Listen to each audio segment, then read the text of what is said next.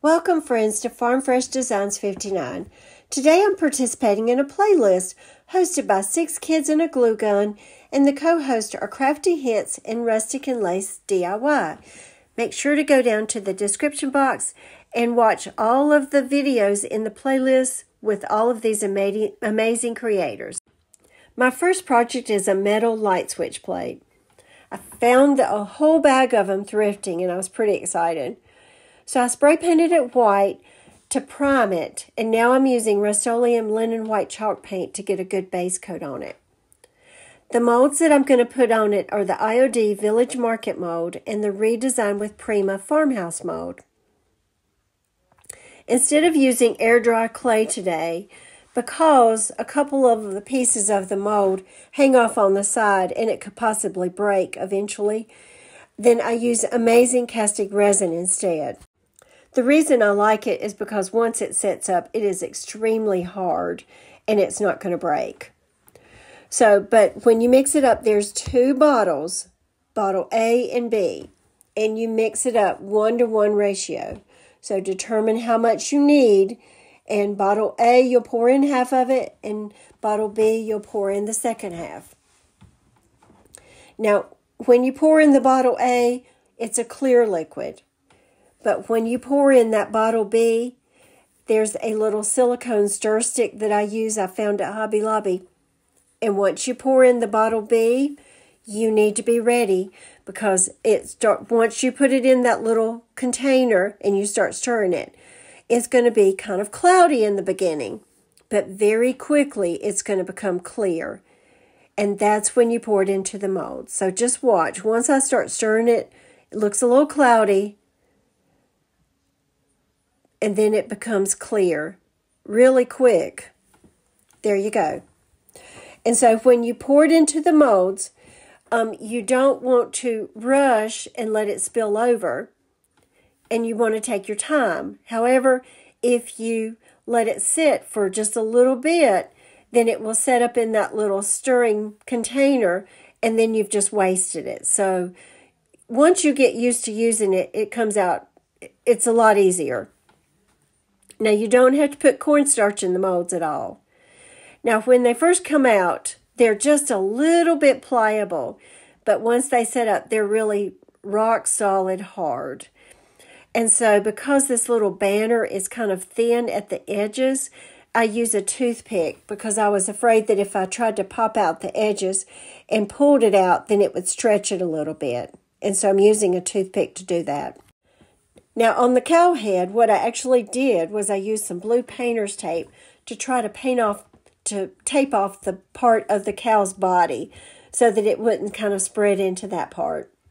That was a little difficult, I'm not going to lie to you. And I actually did a couple different little cow heads to, to, until I was happy with it. Now, when you first come out, if there's any little extra pour over, that's the time to cut it off. If you let it sit and wait for a little bit, you're going to need to use sandpaper to kind of sand it down. Now when I attach it to the little light switch plate, I have already painted them white because they antique up better if you put that first paint on it. Even though it's white right now, it's just a good rule of thumb to go ahead and paint it. Now when I attach it to the light switch plate, what I'm going to be doing is using Titebond glue to put behind it. And then these are little clips I got at the Dollar Tree.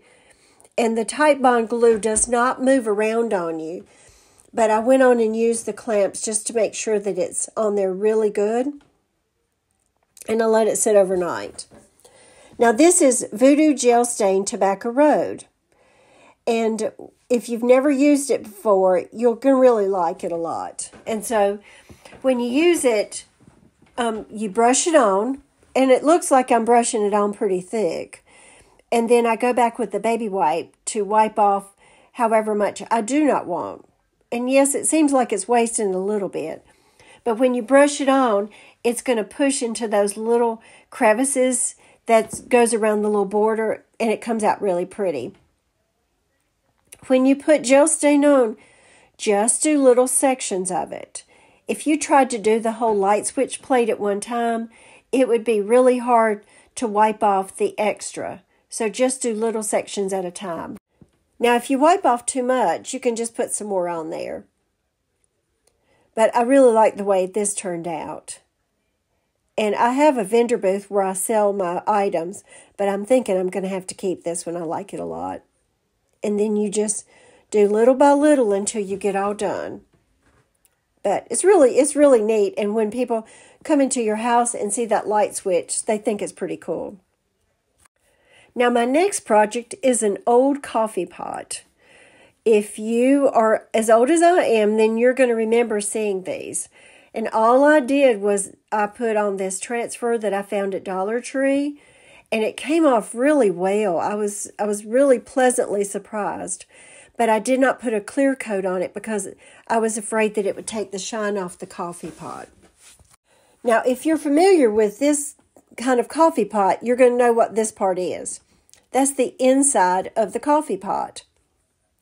And what you did was you would put that little base in it and see it's got that little spring on it.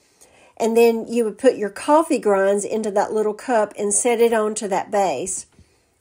And then you would put it on the stove and you would cook your coffee. Personally, I prefer my coffee maker than this because remember the grinds were kind of loose and so yeah sometimes they got down into the bottom of the coffee and sometimes if you put it on the stove too long, oh gracious, it was it just was not very good. It almost taste burnt. And I glued those two pieces together with E6000 glue. And now what I'm doing is I'm using Dixie Belle Slick Stick to paint over it. Now, once I get it all painted, I will not be able to use it back in that coffee pot again, but that's okay. It's more for, you know, decor. And when I use this slick stick, it's just a good base for it so that once you do paint it, then it won't come off. And this is another part of that Dollar Tree transfer that I put on. And it just goes on so well. But it's one of those transfers, when you see it, you better get it because when you go back the next time, it's probably not going to be there. And then I did seal it, and I will be putting some antique um, gel on it. But this time, what I use is I use Waverly Antique Wax. It's something I used to use a lot, so I thought I would go back and use it on this. Now, this is just a little wood disc that I, I think I found that at Dollar Tree. And I'm using that as a base just to make it a little bit more secure. And I've already antiqued it. And then, I, but I use the Waverly antique wax. And you can tell the difference if you'll look over at that little light switch plate. The way that the antique wax on Waverly comes out is a whole lot different than the Dixie Belle Voodoo Gel Stain. And I think I like the Dixie Belle better. But you tell me, which one do you like better? Um, are you a fan of the Waverly, or have you ever tried the Dixie Belle Voodoo Gel Stain? And I'm just using Titebond glue to put around the base of that little metal part. And then I'm going to use a little bit of hot glue to go ahead and secure it to that wood base in just a few little parts. And remember, you never want to put hot glue in the same spot that you used the liquid glue. And then once I get it all secure, then I'm just going to put some greenery in it and if you'll look over to the left of the screen, you'll see some real dainty white flowers. And those are my favorite flowers at Hobby Lobby because you can just put them in a glass jar and they're beautiful. And so I'm going to put some greenery in it and then I'm going to trim off those little flowers to make just a little flower arrangement. Now my next project is a metal tray. Now you kind of have to laugh a little bit because it says, Now I'm awake. Well, I, I sort of have this reputation at my house where when I first get up in the morning, until I get that first sip of coffee, I really don't like to talk to people. And I have to admit, I'm a little spoiled. My husband gets up and makes my coffee for me. And I don't know what it is about that first sip of coffee that just kind of wakes me up. Now, this is an IOD stamp. And what I'm doing is I'm stepping it onto a napkin and then I'm going to decoupage it onto that tray. Now, the reason I like to do that is if when you're taking the stamp off, if it wiggles a little bit, then it's smeared. And if you stamp it onto a napkin and decoupage it on and you mess up, then just pull out another napkin. But if you try to stamp straight onto the piece, if you're very comfortable doing it, then go ahead. But sometimes I do mess up and then you have to paint it and start all over again. And I use the IOD letters for the stamp that says, Now I'm awake. Which is kind of funny because that means I've already had my first sip of coffee. So I'm going to set this up on a little picture stand over there where I keep my coffee pot. Now I'm using the Waverly Antique Wax on this as well. And up there the, is the light switch up there above it. And you can see the difference in how the two stains come out. And so I think I've actually already sealed this piece before I put the antique wax on it because you have to be careful sometimes with antique wax. If you don't put a clear coat on it before and you put that antique wax on it, it's a little bit harder to rub off. And so also because I decoupaged those napkins that I had stamped onto the metal tray, um, yes, there is a little bit of wrinkling up close. And so I was afraid that if I didn't put a clear sealer on it, then that antique wax would grab a hold of those little little wrinkles and it wouldn't look good. Now I've also spray painted the back of it and put antique wax on the back of it because in case somebody does pick it up, I want the back of it to look as good as the front. But it's just a cute little sign. And remember, you got the dollar, I mean, you got the tray at the Dollar Tree, so it didn't cost very much to make it. And I like to use these little metal trays for just cute little signs around the house. And I don't put very much in it. Then that way, if I decide that I don't like it anymore, then I haven't invested a lot of money in it. And I just play with the antique wax on this several times just to kind of get it to the place that I like it. So tell me, are you somebody that needs that first sip of coffee in the mornings like I am? All right, now see if when you put those two pieces side by side, the antique wax and the voodoo gel stain, they do not come out the same. And I think I'll like the Dixie Belle Voodoo Gel Stain more than I do the Waverly, which is kind of sad because I have a lot of that antique wax by Waverly. So I guess at some point I'm going to have to use it all up. Now, my last project is a piece of barn wood that came off my dad's barn when he passed away. And that moss came out of my mom's yard over there near the woods. And I put it in some water and soaked off the dirt. And then I glued it on to that piece of barn wood with Titebond glue. And then I'm going to make a little wall pocket out of it. Now, those, no, this doesn't have anything to do with the coffee bar, but it's farmhouse and I think it's kind of cute. And I wanted to make sure I got it into this video. And this is just something I thrifted. It's something somebody crocheted. I really don't know what it was supposed to be for. So I cut off the part that I like to make into the wall pocket. And I do turn it down on the sides and then I put it on with hot glue. Now, if you're somebody that crochets or knits, I apologize for cutting that up because I know it's a lot of work to do that. But this is something that I thrifted. So I'm just making like a little wall pocket. Once I lay it down, I realize I think I need to cut it some more. And I can you can kind of see how much more you need to cut off. But I didn't have a lot of this barn wood left, so that's why the little piece of wood is not very not very big at all. So it's going to be a small wall pocket. It'll, it'll be just a little shelf sitter. And once I glue that little crochet piece onto it, then I'm also going to hot glue three buttons over to the side. They're little antique buttons.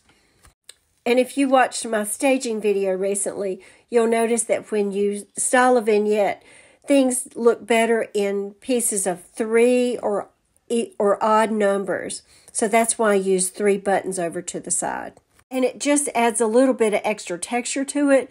And then once again, I use my favorite little wispy flowers from Dollar Tree. I'm sorry, from Hobby Lobby to stick into that wall pocket. And this is a little it's just a little piece of crocheted lace that, once again, I found that at the thrift shop and I glue that down to the bottom. I apologize you can't see it right now, but I glue that down to the bottom just to add a little bit of extra interest to it and just to add layers to it. And then it'll just be a little shelf sitter.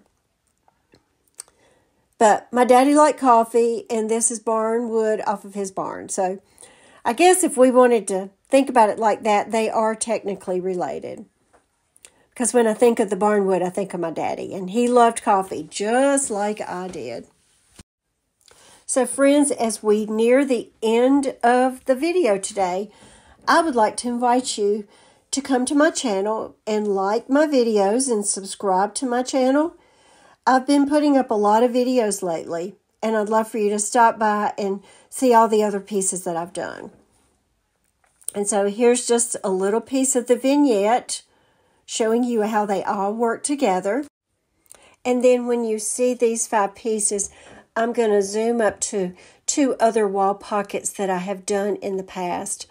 And one actually has a really thin piece of bark off of a tree. But these are some wall pockets that I've made in the past. But I really like my little coffee bar decor. And those coffee pots, I, I did thrift that. Um, and it just brings back a lot of sweet memories. And there's my older wall pockets that I've made in the past. So make sure you go down to the playlist and watch all the other videos. Thanks so much for watching. Please remember to like and subscribe to my channel. And I hope you have a wonderful day. Thank you.